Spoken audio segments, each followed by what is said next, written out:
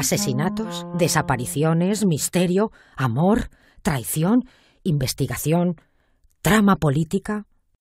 No te pierdas El lago de los cisnes, el serial radiofónico del Salto Radio.